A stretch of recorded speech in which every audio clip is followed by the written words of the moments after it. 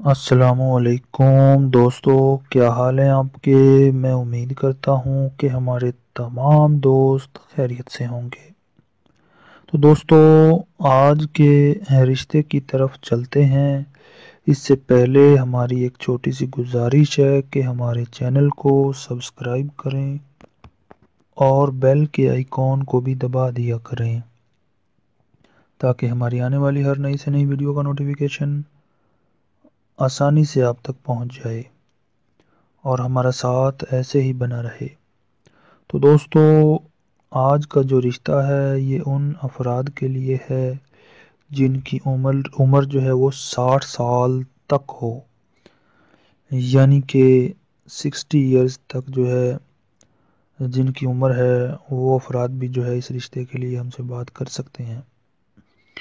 تو یہ جو خاتون ہیں ان کا رشتہ میں آپ کو بتانے جا رہا ہوں، ان کا نام ہے قیومہ بی بی قیومہ جو ہیں، ان کی عمر اس وقت انچاس سال ہے اور یہ ایک بیوہ ہیں۔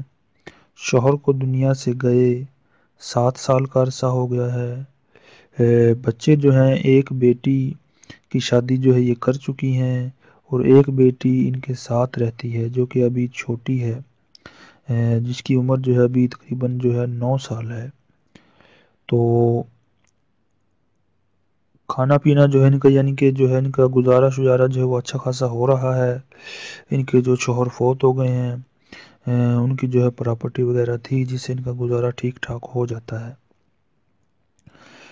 لیکن اب جو ہے یہ چاہتی ہیں کہ دوسری شادی کر لیں قیومہ جو ہے ایک جو ہے اتنی زیادہ پڑھی لکھی تو نہیں ہے ان کی تعلیم جو ہے انڈر میٹرک ہے، لیکن اچھے خاندان سے ہیں، مسلمان ہیں، فرقہ جو ہے ان کا وہ سنی ہے۔